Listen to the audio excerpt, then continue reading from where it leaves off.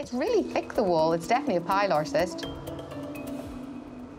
You're missing out on all the fun, Lee. Sorry I about this. I know, that's all right.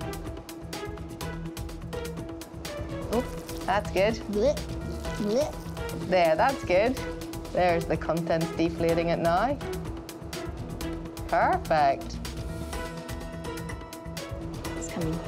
It's coming. Oh, there he is. Bloop.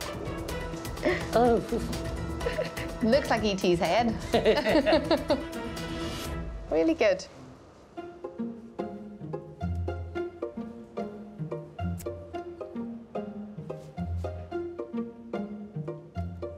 That's good.